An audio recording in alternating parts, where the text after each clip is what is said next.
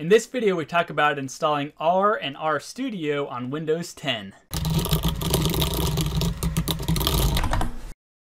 And so let's go ahead and get into it. Now, first things first, we need to go to cran.r-project.org, and I'll have a link in the description down below so you can click that link and quickly come to this website here. But this is where we're going to go ahead and install R to our computer. Now, they have three different versions for three different operating systems, Linux, Mac, and Windows. I'm going to be installing it for Windows in this video, but the same concept applies no matter which operating system you're using. But I'm going to go ahead and select Windows now, and I do want to go ahead and download the base version, and it tells us this is what we want to do to install R for the first time. So we go ahead, and click there, and we'll go ahead and download R version 4.0.3 for Windows, and go ahead and download it real quick. And once it's downloaded, go ahead and pop it up so we can go ahead and install it. And I want to go with yes there. And okay for my English language and next. And go ahead and select where you want to go ahead and install the file to. Um, I'm running a 64-bit version of Windows, so I'm not going to bother with the 32-bit files. I'll stick with the 64-bit files. But you can install both. That's no big deal either way. Um, go ahead and hit next now. And then please specify yes or no then click next. Uh, I would just do no do the default setup or unless you want to play around with it by all means go with it. I'm just showing you how I would install it. Now hit R next sounds good you want to do desktop shortcut and all that stuff I'm just leaving it the default settings. And it goes through and extracts and installs and all that type of stuff and I'll be right back. And so just like that I've installed R to my computer so I'll go ahead and hit finish. And I could come into my start menu here and navigate to R if I want to or if I added a shortcut to my desktop I could go there.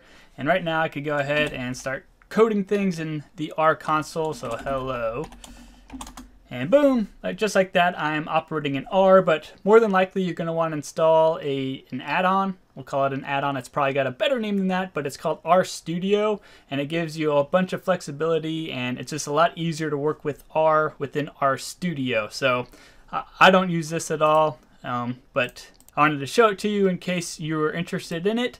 Now let's go to RStudio, which is where we're going to do most of our work. So it's just rstudio.com, or I'll have a link down in the description below if you want to click the link. Uh, come on down here. We got RStudio right here. So click over to this option.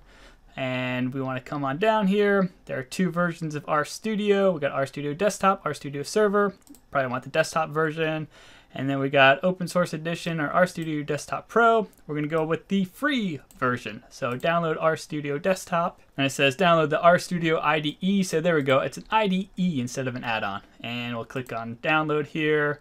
And it automatically senses that I have Windows. So I'll go ahead and select this option right here and I'll go ahead and install it to my computer real quick or download it to my computer. And while I'm waiting for it to download, you'll notice that there are other installers down below. So if you have another operating system, you can go ahead and download the relevant file for whatever operating system you're on. But mine finished downloading, so I'll go ahead and pop it open real quick. And I want to run this on my computer.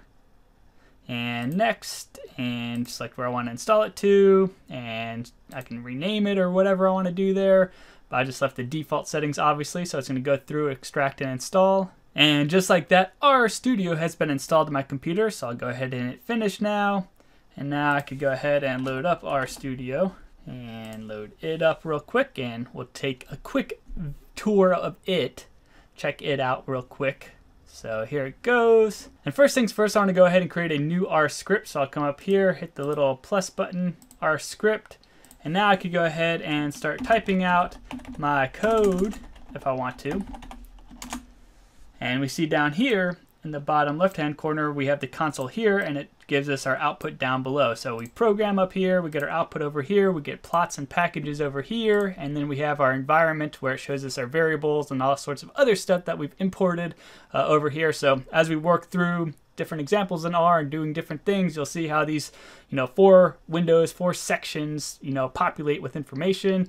Now, also real quick, you might want to change the way it looks. I know a lot of people that are programming like a darker theme because it's easier on the eyes. So we can come up here to File here, and it's not in File, I want to go to Tools actually, and come on down here to Global Options. And you see there's a bunch of different options in here you can go ahead and play with, but I want to come in here to Appearance, and now I could go ahead and select a different appearance for my RStudio.